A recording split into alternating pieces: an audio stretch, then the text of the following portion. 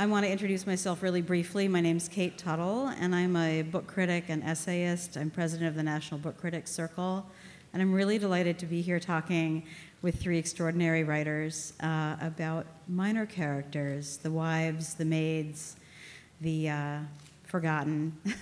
um, to, immediately to my left is Valerie Martin. Emily Wilson is to her left, and Margaret Atwood on the far end. And I wanted to invite uh, Margaret Atwood to begin with a little incantation, a little uh, jump rope rhyme from her wonderful book, The Penelopiad. Right, the Penelopiad is um, um, the story you know so well, but told, told from the point of view of Penelope and the 12 maids that get hanged at the end of the Odyssey. And Penelope is the main narrator, but the maids act as a chorus. And uh, each of the choral numbers that they do is in a different poetic form. And the first one that they do, because they certainly hold it against everyone that they got hanged, they're quite vengeful. Uh, the, the first one is called the chorus line, a rope jumping rhyme and they're addressing Penelope. They keep drifting into her view, and whenever she wants to talk to them, they, they fly away. We are the maids, the ones you killed, the ones you failed. We danced in air, our bare feet twitched, it was not fair. With every goddess, queen, and bitch, from there to here, you scratched your itch. Odysseus being the one addressed there. we did much less than what you did. You judged us bad. You had the spear, you had the word. At your command, we scrubbed the blood of our dead paramours from floors, from chairs, from stairs, from doors. We knelt in water while you stared at our bare feet. It was not fair. You licked our fear. It gave you pleasure. You raised your hand. You watched us fall. We danced on air, the ones you failed, the ones you killed. Damn, skipping. So, yes. so, so when that, they do. So that's an amazing.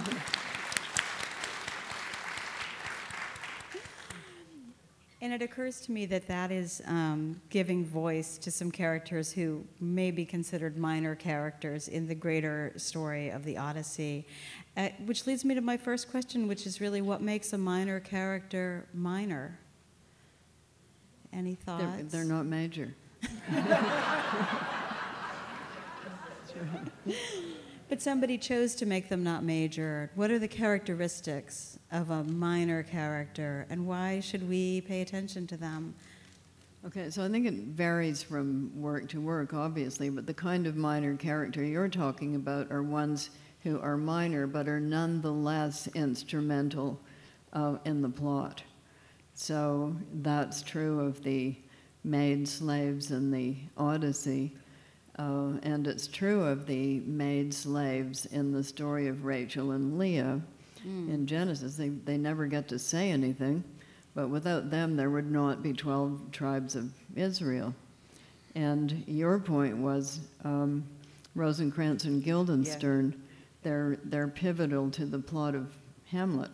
Yeah, we were talking about that um, the other day, that our that's a play I really admire, and I think about um, the, the brilliance of Stoppard to have been looking at the play and thought about who Rosencrantz and Guildenstern really are and why they're there. And in my mind, there is they, there's a, a moment in the play when everything changes, and that's when Hamlet says to Rosencrantz and Guildenstern, or Guildenstern and Rosencrantz, um, "Were you sent for?"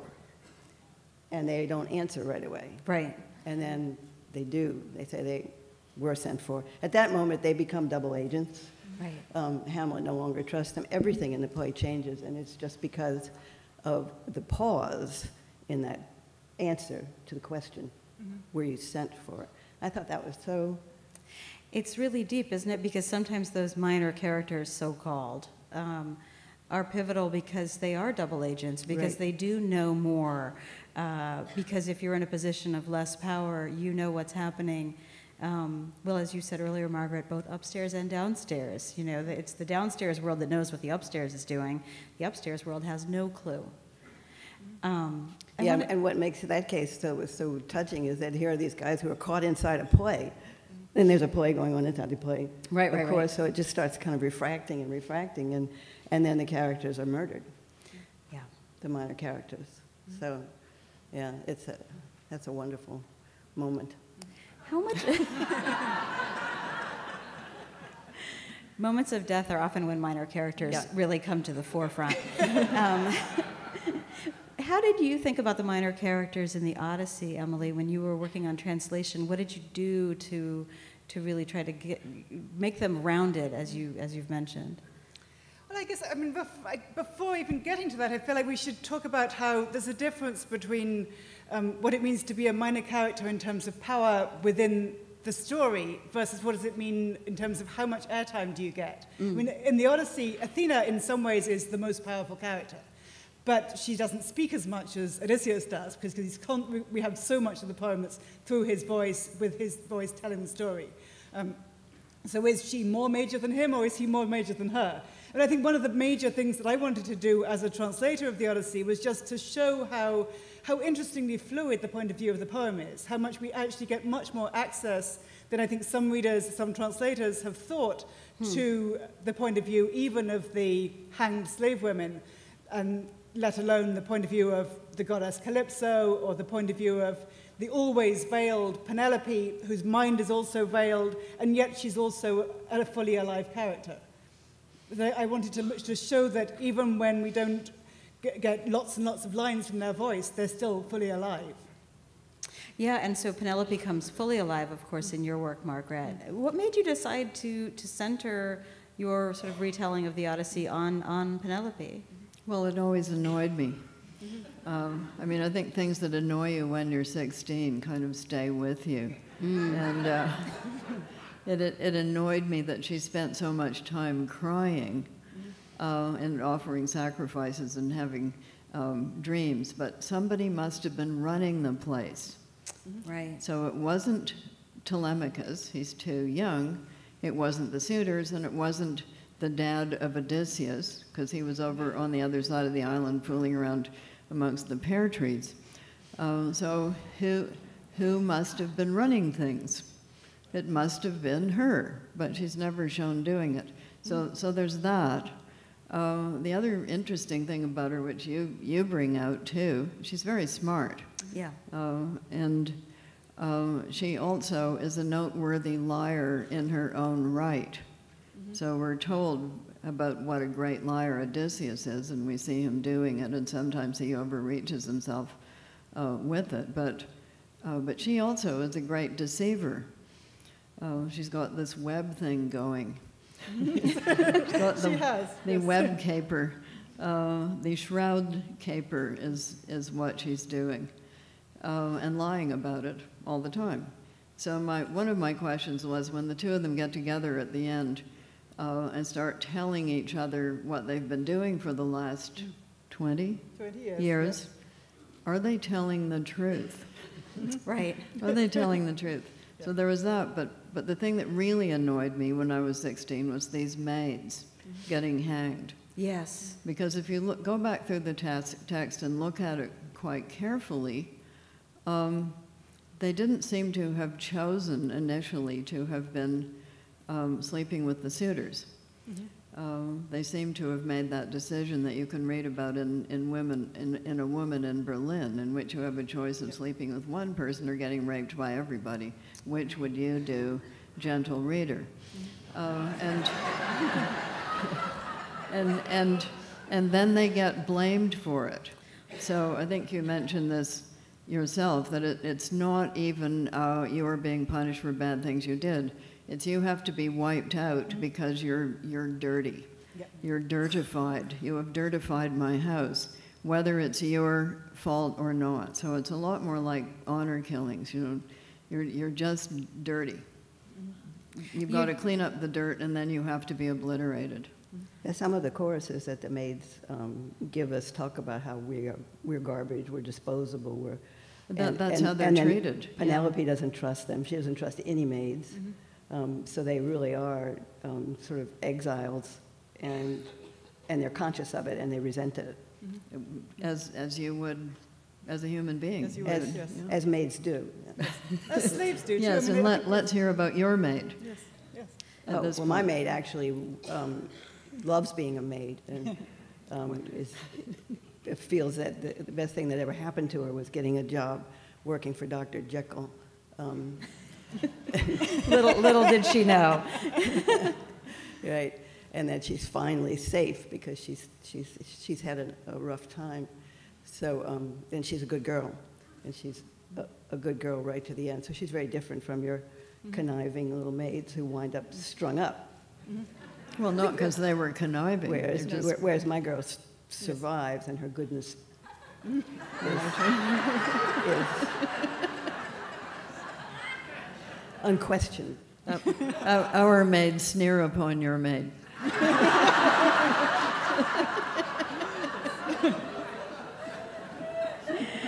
And, and we've got more of them. That's, true. True. I think it's interesting how in the Odyssey there's this very clear distinction between the two types of slave, which is related to the two types of maid. There's the, the quote-unquote bad slaves who are represented by Melantho, um, the male one, who's the wrong, the evil limb who's owned by the wrong owners, performing the wrong kind of work, serving the wrong male masters. And then uh, Melantho, the black flower, Melanthius, the black, male black flower. So and that's the only speaking part among the 12, ma- 12 ser- servant or sla- slave women is Melantho, whom Penelope, of course, has brought up like a daughter. So she has issues with her kids in both, both with Telemachus and with um, the teenage daughter. And then we have the quote unquote good servants, who are the ones whose interests are, they imagine themselves happiest when they're being enslaved. That you, both Eumaeus and Eurycleia totally identify their own interests with those of their owners, don't even want to go back to their biological families, even if they had them. They love being owned Maids. and enslaved. And that whole horrible fantasy, I think, is. Singing in the cotton fields. Yeah, exactly. That was not, that was not, you know, coming from their point of view. That was Yes. im- an, an, an imaginative, um, It's not out of the question. Yeah, it's something that can happen. People can get so messed up in Like their minds Stockholm by, syndrome. That, by that kind of positioning. well, I think there can actually also be close relationships between, between uh, masters and, and Yes. servants. I mean, and that's one of the, that's one of the reasons they, there's so many books in which there, there are maids and servants and butlers and, um, I'm Who? thinking of Jeeves, right? That, you know, he- he- Yeah. He can't do without his butler, and his, Yes. And his butler is perfectly aware of that. Um, So all kinds of possible relationships occur, but it, all, it really depends on who's telling the story, because the master will always see the servant differently than the servant sees the master. There, it's not love. right, exactly. There's no equality, but there can be um, sort of a- an apprehension of the other entity and, you know, your value to them and his, like, my value to my servant and my servant's value to me. Well, exactly, and you were, um, you were mentioning in, in both, uh, well, in Wide Sargasso Sea, Jean Rhys does something Yeah. similar to that, where she shifts the terms of the story, um, you know, from what had been the main story to another side. Um, Are there other examples of that that you can think of that, that you sort of play in your mind when, when you were thinking about Mary Reilly? Um, I, there's certainly Wide Sarga- Sargasso Sea was, was one. I think that was, um, I, I probably read that when I was pretty young. Mm. Um, yeah, and then there was the Rosencrantz and Guildenstern. Um, I can't, I can't think of any others in particular, but I've always been very interested in the whole idea of maids and ultimately of slavery, which is why I wrote a book about a slave owning woman who's not nice at all. She's No. a bad girl. But, um, but for this one, um, the maid is, actually, the maid is based on a, on a, a true um, character. When I started to write this book, I wanted to find out what 19th century maids in Britain were like, so I went to the British Museum and I tried to get a library card and um, see if I could look for manuscripts of diaries. And I had to be interviewed in order to do this by a very fusty and superior seeming person who said, she, she quizzed me about what I was doing, why I would think that they might have them. Maybe I should try the registry offices. Uh, and she said, finally, I just don't think you're going to find anything because they were all illiterate, don't you see? Um, and I thought, hmm.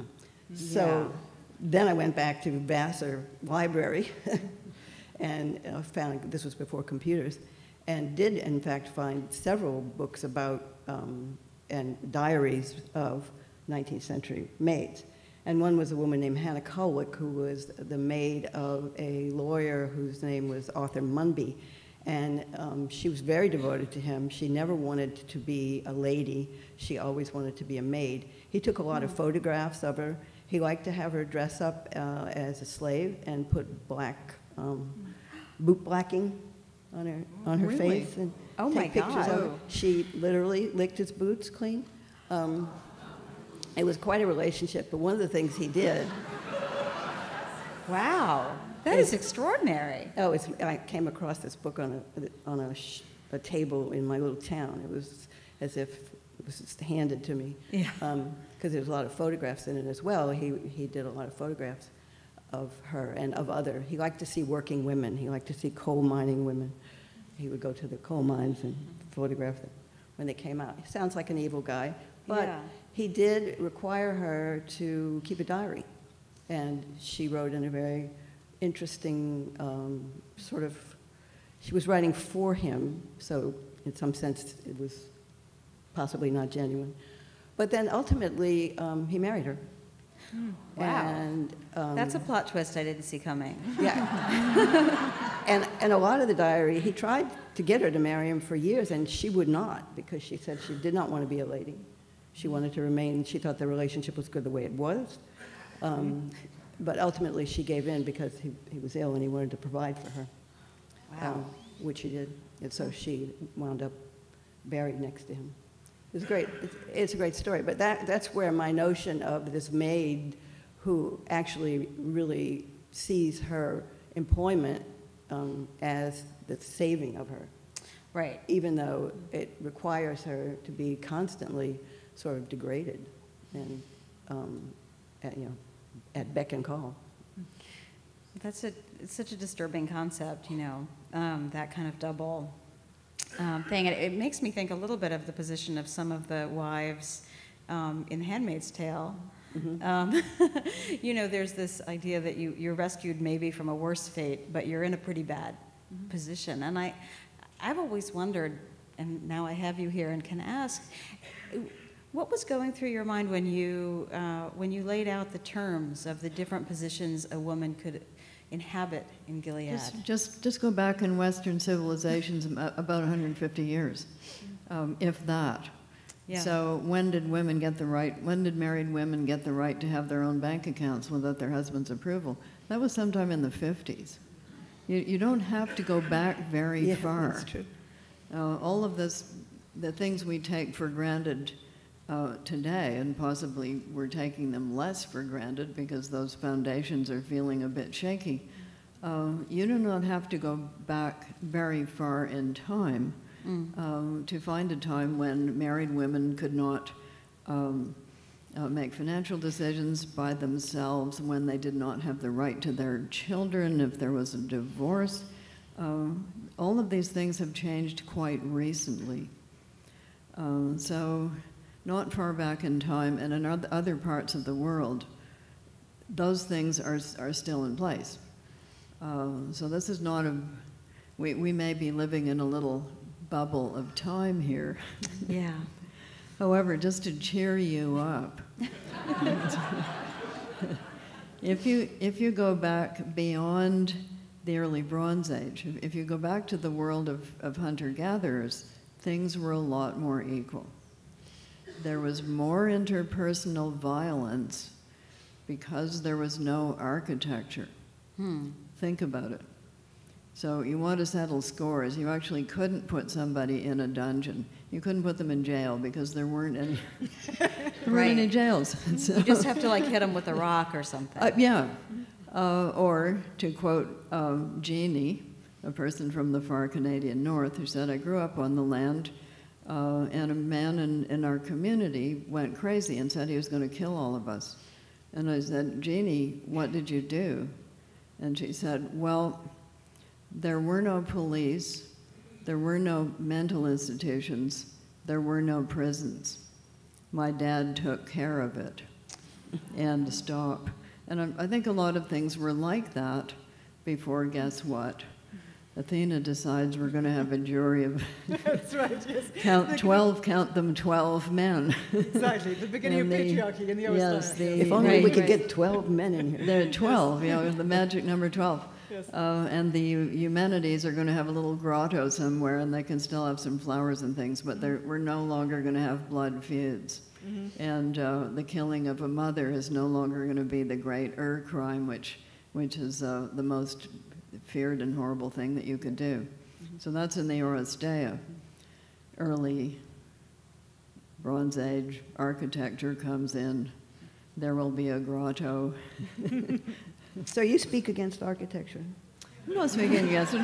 I'm just pointing out that you, you can't imprison people if you don't have a prison. You can't have mean- housekeepers and maids if you don't have a house.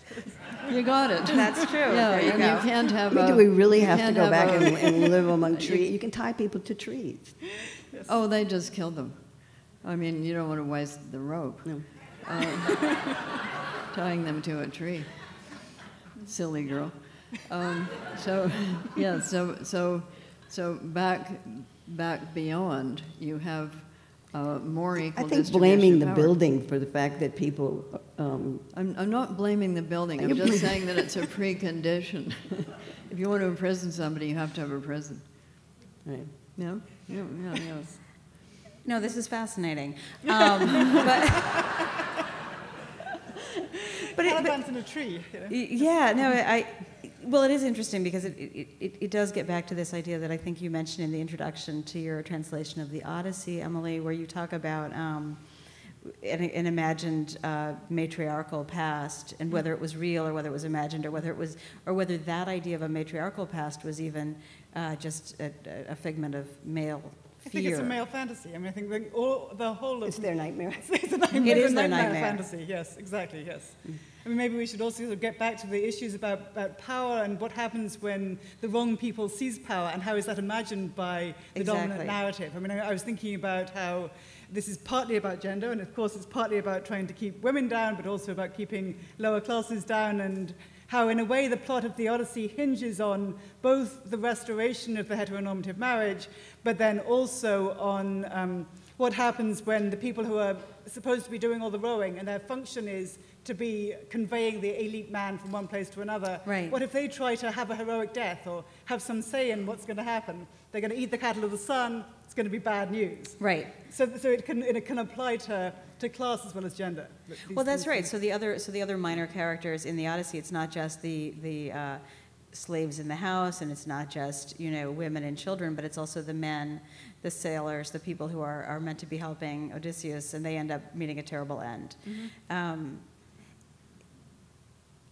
I am curious about that turn, though, where you where you try to get into a minor character's head, or you try to um, you try to give them their point of view, give them their place in the sun. I mean, it doesn't always require writing a whole book about it, but but how do you do it in a book where the minor characters remain minor, but they but how do you make them come alive and be important? Well, sometimes you can just leave them as sticks, you know, Yeah.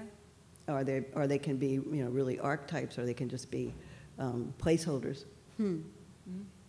That would not be good, but you can do that. Sure. Yeah.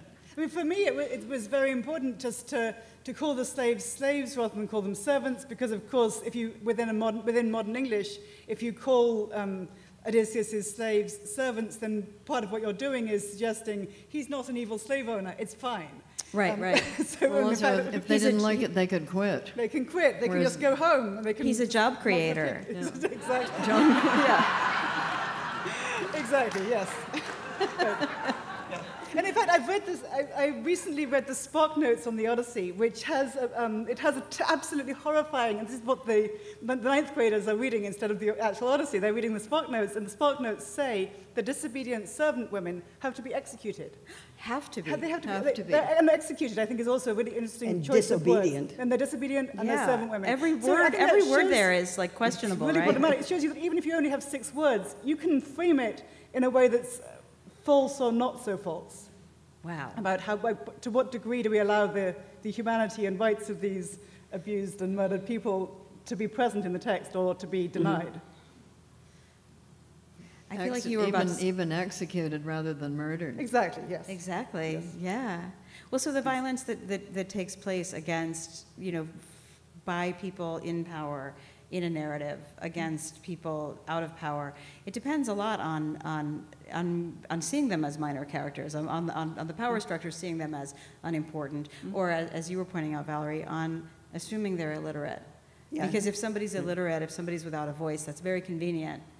um, We won't be, we won't be hearing from them Exactly. in the future. Exactly. Yeah, yeah, that's, that's true.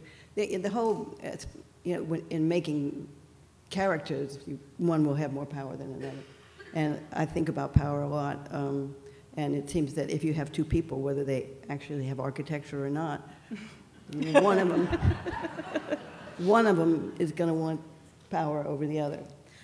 Right, it's I- just I- part I- of human I nature. dispute that. Hmm? I think it depends what kind of culture you're living in.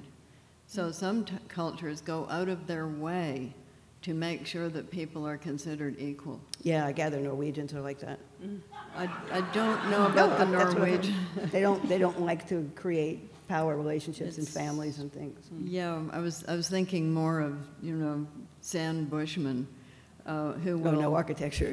they have no architecture, exactly, or they didn't have at, at uh, that time. So, so it's actually, um, if, if you have to live in a group and everyone has to cooperate uh, equally, it's bad for somebody to assume a position where they think they're more powerful and better Right. than other people, and they will, they will, they will pull you down so that you're still on an equal level. Right. My own experience, of, of- I haven't had a lot of power in life, um, but I did.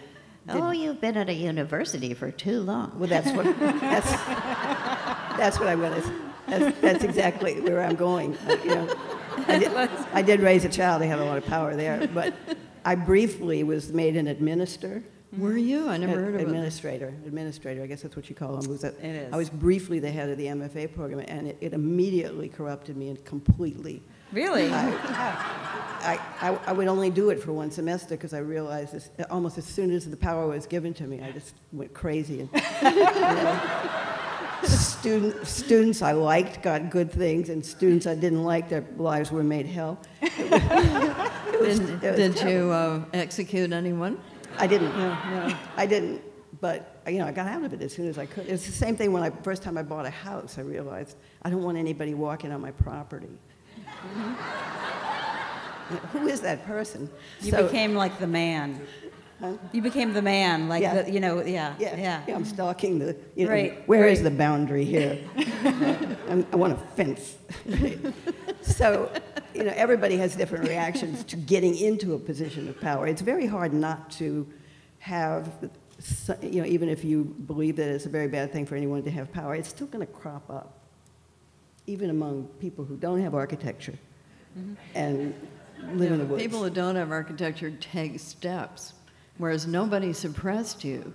You ought to have been suppressed while you were doing this. I had to suppress power. myself. so this is not for you. Well, power is really relative, right? I mean, you know, everybody has a certain position, um, you know, of sort of power, more power or less power, but along different axes in Yeah. one's life. And you some know? people really want it. and some people want it more than others. Mm-hmm. Um, it occurs to me, though, that all of you have power as writers and authors. I, I think that's influence rather than power, and I um, think there is a difference. Oh, that's it. No, I, I mean That's power over your fictional characters. Oh, yeah, the and God- power yes. over the words on Oh, the yeah. page. total. We're Yes, God. total control. It's See, and you megalo- like that. megalomania. Yeah. Yes. I could see your li- eyes light up from yes, here. but it's it's very different if you're writing a film script. That is the least powerful Right. position. Oh, yeah. My, my power as a translator is constantly limited by the other Yes, text. and exactly, I'm constantly yes. having to, I'm always having to think about what does it say in the original. I don't have not have very circumscribed power, which I kind of like. Well, you could probably lie, but people would catch you out. Other translators would would uh, rise up against you if you lied too much. And I don't want to lie too much. I mean, I actually want to tell the truth, and it's so hard to tell the truth. I'm trying to tell the truth all the time. Translators are actually slaves. Yes, but they're also, they are, yes, they are. But they, they are also Odysseus, right? I mean, they were constantly also making up words and making up, Yeah. being in disguise. My words are also Homer's words, so I'm constantly putting on a different disguise Right. with every new author that I'm pretending to be. Yeah. It's actually me all the time. It's like a ventriloquist. Where is that? Yes. Aren't you, aren't, aren't you ever tempted to take control and do something entirely under your control? I am, yes. I'm very tempted, but I, I don't feel ready to publish anything like that. But yes, I'm tempted. Yes. Yes. So one day. Not ready yet. Wait for it, world. This is fascinating. I'm wondering what you th- what you all think the relationship is between lying and power. Mm-hmm. That's a loaded question in today's world. Yes.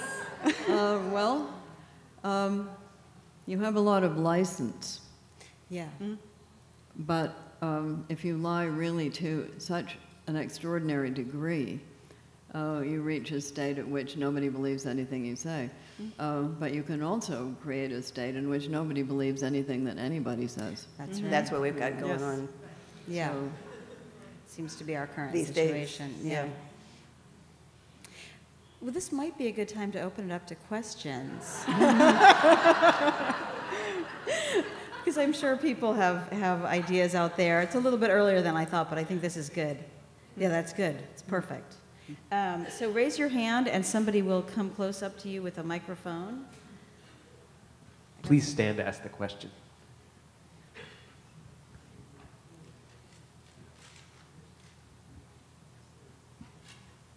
This is for Margaret Atwood. I'm a big fan, by the way.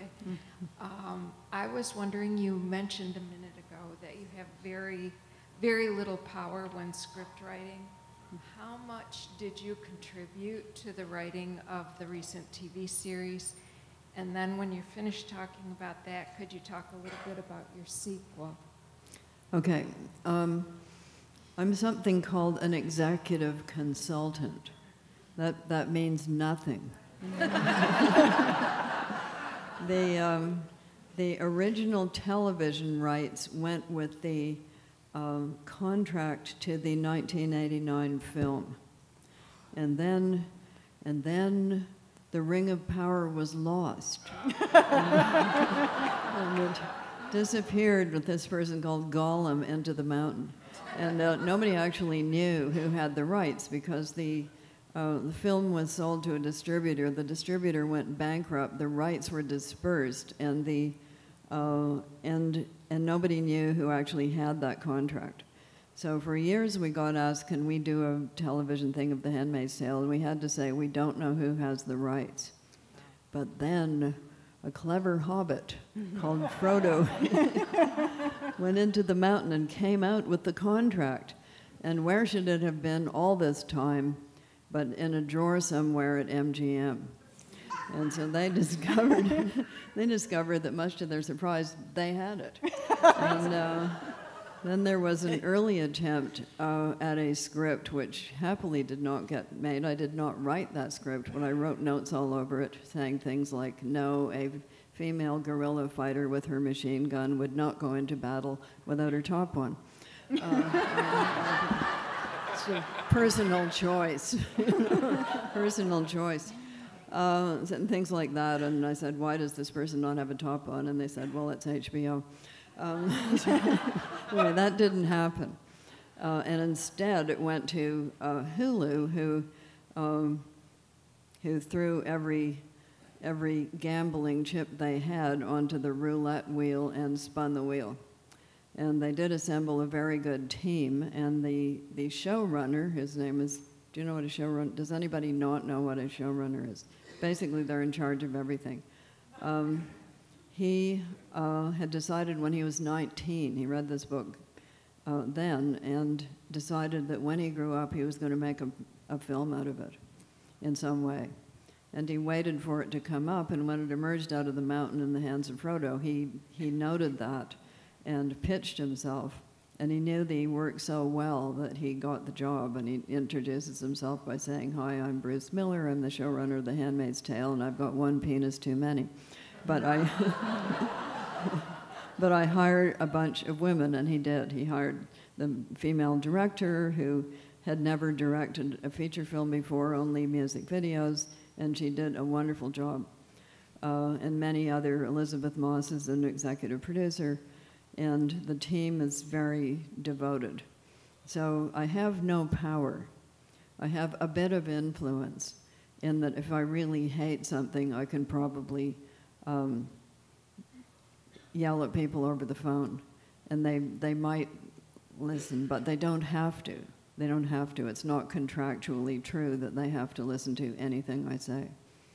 Uh, so we're now going into, we're now actually shooting season three, and they're in uh, Terra Incognita because they did the book in the first series. They're drawing on the on the um, historical notes, and they're they're holding to the uh, rule number one, which that nothing goes in that hasn't happened somewhere in human history. You you can't just make shit up. Um, so they're they're respecting that. Uh, but as for me controlling anything, don't be silly. Uh, authors of books are, are notoriously not listened to in Hollywood, and, and script writers, although they may provide the skeleton of something, a lot of other people then and come in and have a say um, about what lines they would prefer to be speaking, and they don't have enough airtime, and they want more of this and less of that. Um, they don't like the shoes. Uh, there are a lot of people involved in making a, a, film, everything from the costume designer to the music people to the people who do the color infill after they've actually shot it. Uh, it's just a huge enterprise. Uh, as for talking about the uh, book called The Testaments, which will appear on September the 10th, 2019, I'm under an embargo from my publishers, and they would kill me if I told you anything about it. but they're but they're going to do a cover reveal very soon. Ta-da! The cover reveal. These, these, these, things are increasingly books are increasingly published like um, movies. Yeah. Are they not? Mm-hmm. The trailer. The trailer. The Yeah, trailer of the book of the movie of the book of the movie. Um, I hesitate to push back against both Margaret Atwood and Emily. Well, might you hesitate? Yeah, it's.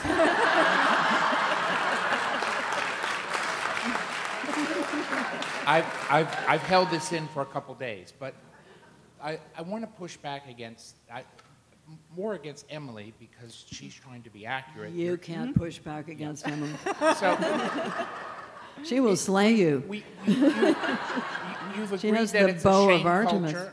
It's a hmm. shame culture. Hmm. It's an honor culture. It's a revenge culture. And the, it's telling, I think, that Telemachus does the killing Yep. because he's the one who has to worry about the child of that coupling who will mm-hmm. grow up to revenge his father's death. Sure. Mm-hmm. And so it makes, it's good policy mm-hmm. to off with them.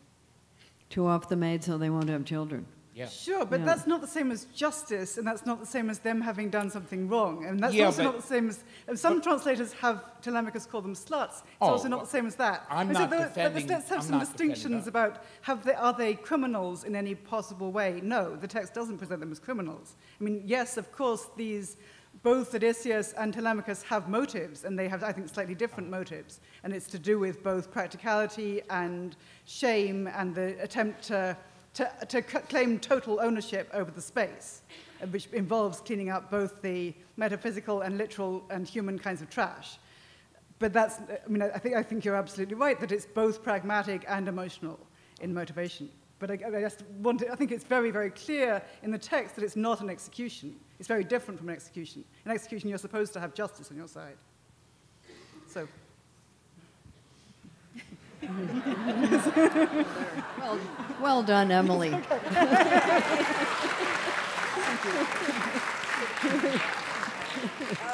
you were warned. Okay, so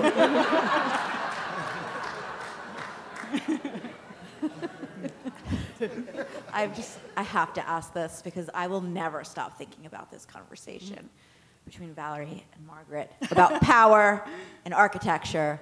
And I just need to know, perha- there's just, there's a lot more nuance in power, I think, in my own mind. So I'm like wondering, are you each thinking of power differently?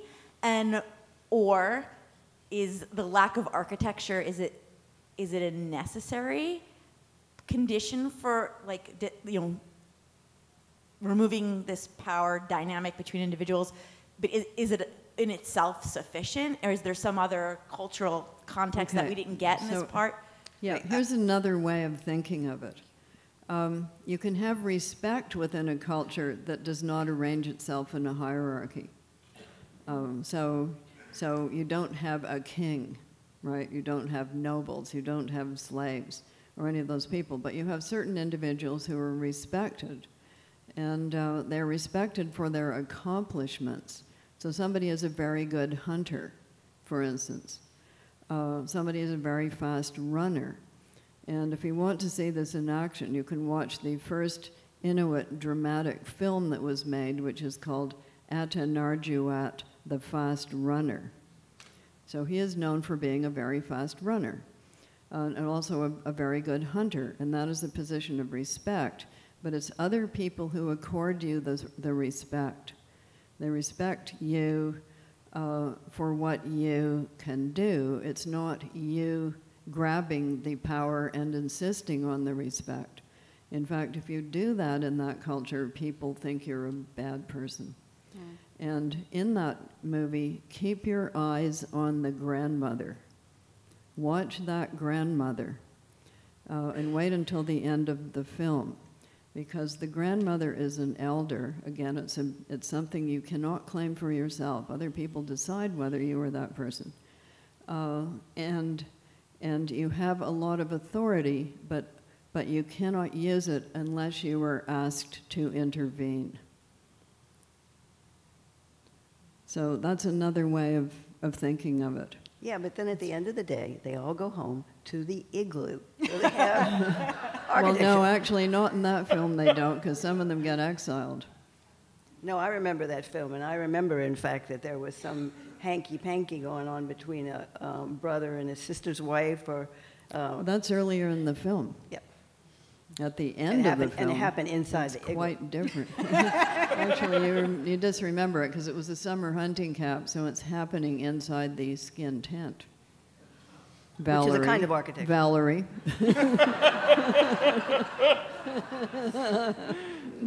But I think you're right. We are kind of talking about different kinds of power. I mean, So, I'm, I'm really thinking power about that you relationships have within which- yourself. Um, so Emily's power to translate, for instance, that's one kind of power. But power over other people is, I think, what you're talking about when you're talking about political power, and power over other people, in that sense, is always dependent upon force. Hmm. Mm-hmm. but not architecture. If, if you're going to have a standing army, it is, however, dependent upon agriculture. Woo. I know. I don't follow that. Okay, here's, here's how it goes. I think Uh, a Should we call a truce on that? And, Yeah, we're out of and I think there's No, one no. more question up there you need a surplus of food. in the gods. That's what you need. from the gods. Uh, Um, I was just wondering, uh, for, I guess this is for all three of you, possibly less for Emily, is uh, given that you are often motivated by sort of giving these small characters a voice, in your own work, are there characters that in retrospect you now feel guilty about uh, having squashed into a minor role? uh, and, and yeah, if, if, if any of you would address that, I'd be curious. Va- Valerie is devoid of guilty feelings, but anything. Yeah, or structures, I suppose. But. That's, that's not true. That's not true. Okay, sorry, I take it back. What, do you, what have you ever felt guilty about? We've known each other for a long time. That's, that's why we can go on this way. We're just not being naturally rude to strangers. I, I can, yeah. I- It's not so much I felt guilty as that I rethought the way I had um, created a character. You rethought it. Yeah. Which character? Can you Uh, it was a you- character who was um, I'm trying to remember exactly the situation, but it was a character who was a slave. Um, and the story that I told was a little bit romantic. And years later, I realized, you know, that was, that was dishonest. That's It the way people want to think about it. And so that's one of the reasons why I wrote Property, was guilt about having created this kind of romantic um, lights on the levee, big plantation house, music in the dining room. The slaves weren't singing, but they were not in revolt. Um, and then gradually, the more I read about what slavery was actually like, I realized they all were always in revolt. So I wrote another. That's really Another book. interesting. I think I um, felt guilty about the many years during which I was reading the Odyssey and not paying proper attention to the, to the characters who weren't Odysseus and Penelope and Telemachus. I, I was c- very conscious in starting my translation that I wanted to remedy some of that, um, the years of teaching the Odyssey the wrong way, the years of mm. perpetuating mm. the, mm. the, con- the, the usual traditional ways of sidelining everybody who isn't part of the nuclear family. Mm-hmm. That I, I was actually part of that wrong way of reading it, and I wanted to make some reparations about that. Now Now I have here's to someone say who's never something been I feel guilty. guilty about. Go on. Okay, I feel guilty that I never finished my, my um, doctoral thesis. Oh, no. that was the smartest Nothing- move you nothing ever made. really- Yeah, but You it have was spent quite your life in academia, Yeah, it my was about God. supernatural women in 19th century literature. Don't you think the world needed that? Yeah. In, in, in 1962? You can still do it. Yeah. Um, well, I have an unpublished novel. Um, actually, I have three unpublished novels, but two of them never got finished. I don't feel guilty about not finishing them because they weren't going to be any good. Yeah, I have three like that So I don't feel guilty about that, but should I have ended my first one that never got published with the female central character pushing the male central character off a roof? Sounds Should I have done that? Do I feel guilty about that? No. No. I don't, but, but the world was definitely not ready for it in, in 1964. And uh, Oh, I got taken out to lunch by a publisher who said, Could I consider changing the ending? And I said, No, I didn't think I could. And he leaned across the table and patted me and said, Is there anything we can do?